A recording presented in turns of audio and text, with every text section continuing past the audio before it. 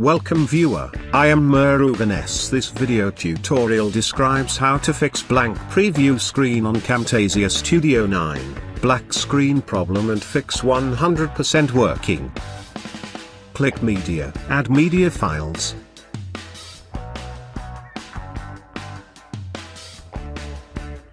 Track media file to timeline. Now press play button, the video is not playing.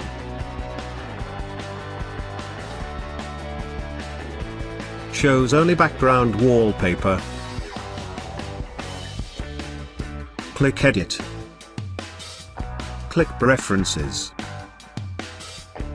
Click advanced.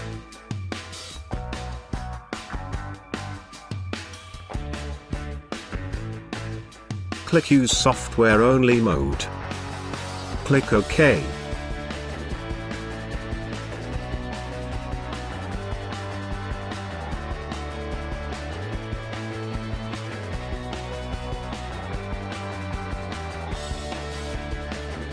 Now close and reopen your Camtasia.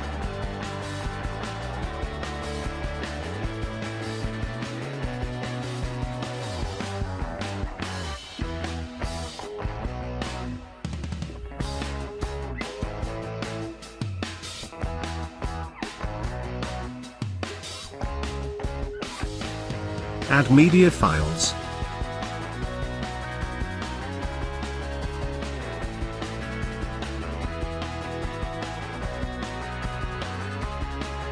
Now working perfectly.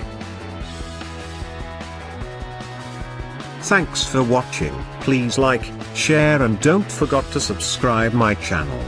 See you next video.